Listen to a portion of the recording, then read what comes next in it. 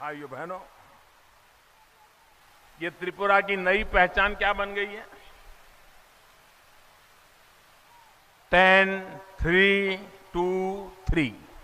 हो गई है ना? Ten, three, two, three. यही हो गया। शिक्षकों की भर्ती में कैसा खेल खेला गया भाई? करीब करीब दस हज़ार से ज़्यादा शिक्षकों के भविष्य पर सवाल या निशान लग गया कि नहीं लग गया? ये सब पाप किसने किया? ये इन लोगों को क्या रहने देना चाहिए क्या?